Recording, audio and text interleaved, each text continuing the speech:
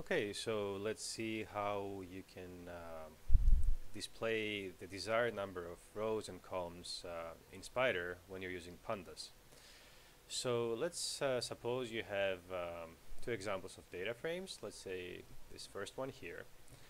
And um, it has a large number of rows, uh, 1000 rows, and also the columns are um, uh, each of the rows has a single column uh, with a large number of uh, characters. And you want to uh, be able to see the entire matrix in your IPython console. So the first thing you need to do is uh, go to preferences and change the size of your buffer. So if your data frame has 1000 rows, make sure it's larger than this. So 2000 should be enough. So that's the first step, uh, and uh, what you need to do next is uh, is change a couple of uh, pandas options. So the first option uh, you should change is um, the maximum number of rows. So let's set it to 100, see what happens. So um, and also let's change the column width to um, let's say 10 and see what happens. So just get your um, data frame and just um, print it.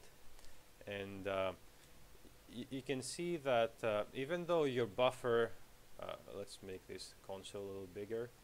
So even though your buffer um, actually would allow you to show all of the rows because we set the option to 100 you only see 100 rows.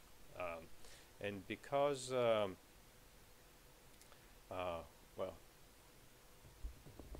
change the uh, the column width here to 10 uh, and yeah let's look at that again. Yep.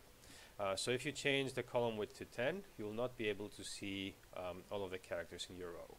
So let's say you want to see um, all your rows right? So you, what you need to do is um, increase the maximum number of rows to at least a thousand so and then just look at your data frame again. And now if you just scroll here you'll see that actually you can you can look at all of your rows like that.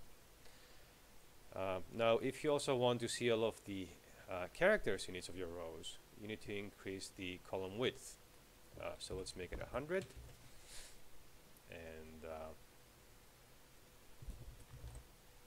as you can see now you can see all of your uh, characters in each row and you can see all of your rows okay so so that's one example. Now let's see um, let's say you have another example where you have um, a data frame that has um, a small number of rows but but it has a large number of columns. Let's say 15 15 columns.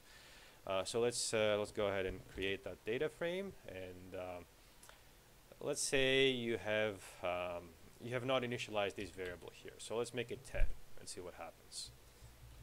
So if it's set to 10 or what, whatever is the, uh, the default, the default is usually small. Um, so if you want to see all your columns, uh, you need to change that. Uh, you, you, cannot right now, right? You cannot see all your columns here. Uh, so you need to increase the maximum number of columns. Let's make, make this 100. And um, you go here now you can see all your columns. So uh, these were a couple of tricks that um, you know uh, that you can use to inspect your uh, inspect your data frame in your console. Of course, another thing you can do, you can use the variable explorer in in in, in Spyder. Um, so you can just open your data frame here. But some people prefer using the console. So um, hope this helps and you find it useful and um, thank you for watching.